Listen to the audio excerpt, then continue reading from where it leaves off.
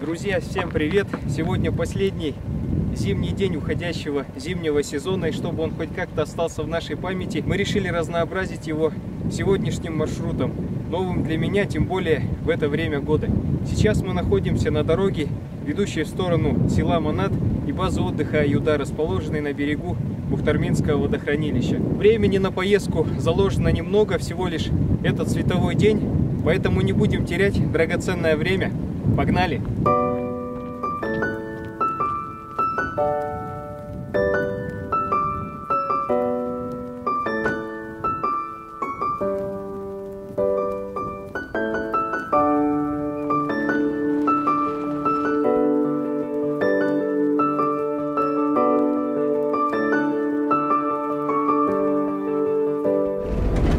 Времени сейчас 10 часов утра, и оно неумолимо убегает вместе с этим днем.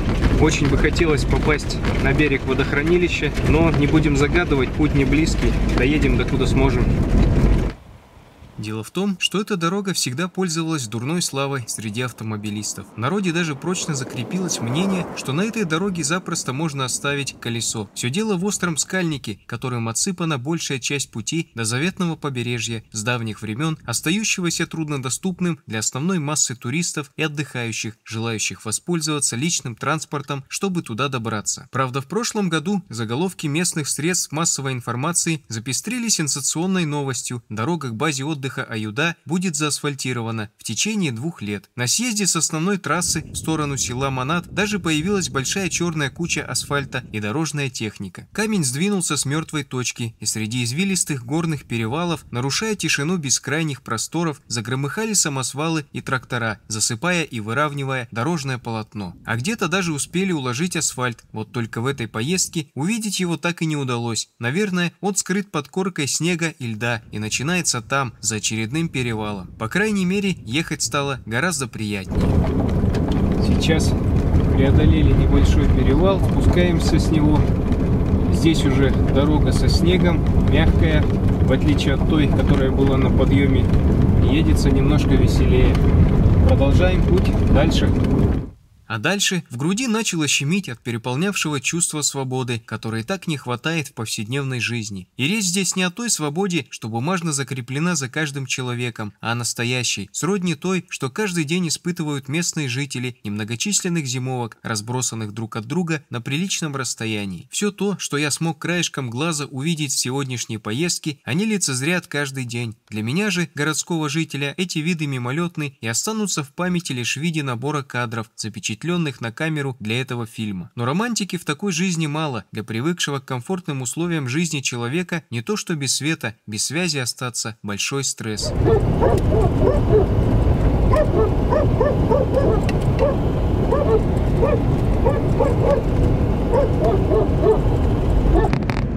Только что проехали еще одно зимовье, оно жилое. Честно говоря, я не увидел там электрических столбов и удивился, как люди там живут без света. Дорога по-прежнему идет на спуск. Дорога покрыта снегом, коркой льда в некоторых местах. Дорога ровная, скальник этот весь закрыт, поэтому двигаться можно со скоростью немного побыстрее, чем мы ехали на подъем. До села Монат осталось примерно половина пути, может быть чуть больше, поэтому направляемся туда. Миновав очередную зимовку, в которой я также был облайн собаками, наш туристический вояж вышел на финишную прямую, которую назвать прямой не поворачивается язык. За многочисленными поворотами, спусками и подъемами скрывалась красота, которую ни в сказке сказать, ни пером описать, хотя перо современное, цифровое. Словно символизируя контрольно-пропускной пункт на въезде в Монат, впереди мелькнули очертания небольшой будки, на деле оказавшейся беседкой. Причем беседкой непростой, ввиду ее расположения, рядом с источником живительной влаги, бьющим из-под горы. Место это, судя по всему, какое-то знаковое, а может быть и святое, о чем свидетельствует увешанное пестрыми ленточками дерево, растущее рядом с родником. В народе же верят, что святые места имеют магическую силу, поэтому, если там повязать пестрый лоскуток на куст или дерево, дерево и загадать желание, то оно непременно сбудется. Объяснение этому явлению много. Существовало поверье живущих в кустах и древесных кронах добрых духах, у которых можно попросить все, что угодно. И если желание доброе, невидимые обитатели леса обязательно помогут ему сбыться. А может быть, дерево это обросло пестрыми лоскутками благодаря заезжим туристам, мечтающим вновь вернуться в эти края. Так или иначе, но и я решил не обходить стороной это место, и пестрая ленточка, которую я неоднократно порывался выбросить, заняла свое место рядом с родником.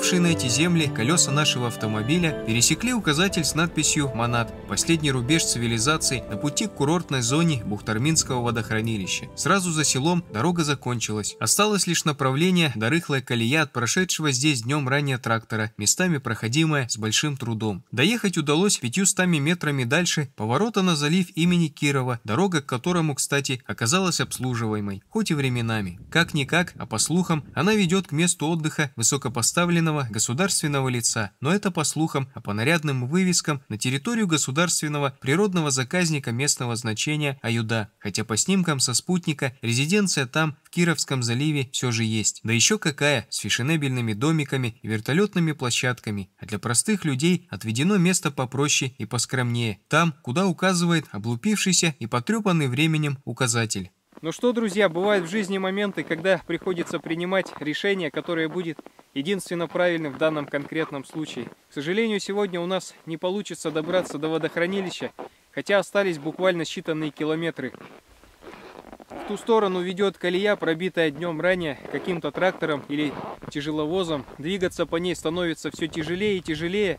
Сейчас дорога уходит немножко в горку, я прогулялся туда пешком, и дальше она лучше не становится. Поэтому принимаю решение разворачиваться. По пути была какая-то беседочка, остановимся там, перекусим, посмотрим окружающие виды. А сейчас будем пробовать разворачиваться в этом пустынном поле.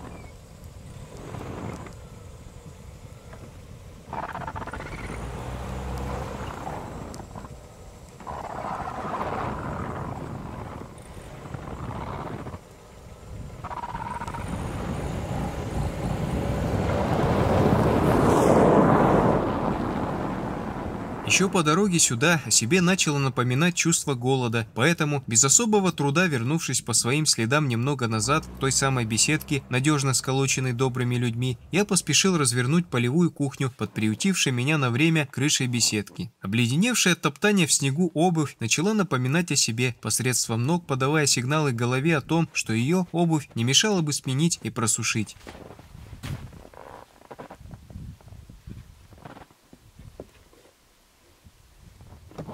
Горячий чай поистине творит чудеса, причем не только с теми, кто его пьет. Согревающей силы бодрящего напитка с лихвой хватает, чтобы разогнать облака, что, собственно, и начало происходить на моих глазах. Та молочная пелена, в которой я находился весь сегодняшний день, постепенно развеялась, уступив место четким очертаниям гор, а позднее безупречно голубому небосводу.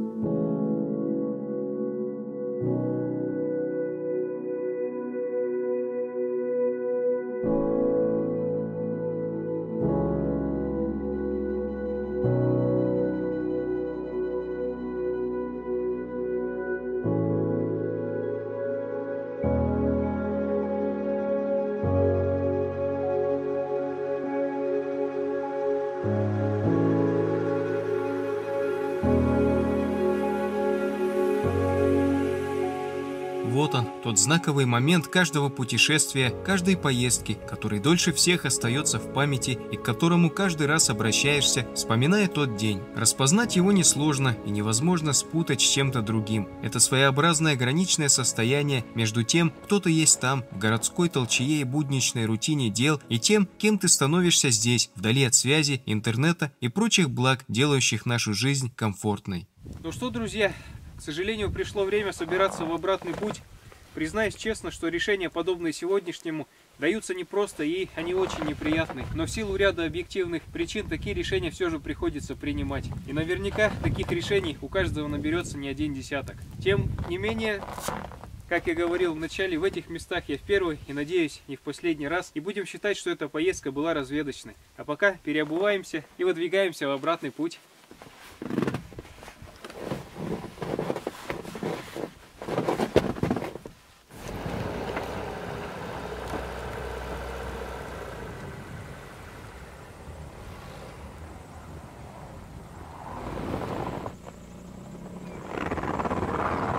Наверняка в этой глубинке еще остались в приоритете простые общечеловеческие ценности, уважение к старшим, взаимовыручка и трудолюбие. Без этих качеств сложно представить жизнь человека здесь, вдали от больших населенных пунктов и городов. По сути, это наглядный пример жизни деревенской общиной, отличающейся не просто одним местом проживания, но соединением людей в единый социальный организм, которому не страшны те условия, в которых он находится. И несмотря на то, что в село Монат ведет обслуживаемая дорога, есть электричество и даже какая-то техника, здесь важно не растерять навык использования простых механических приспособлений – лопаты, топора и вил для уборки и заготовки сена. В таких местах лошадь не только безотказный транспорт, но также верный и надежный друг и товарищ. В таких местах можно не просто дышать полной грудью, а почувствовать вкус вдыхаемого воздуха, не просто пить воду, чтобы утолить жажду, но наслаждаться ее живительной силой и чувствовать, как она наполняет каждую клеточку тела энергией.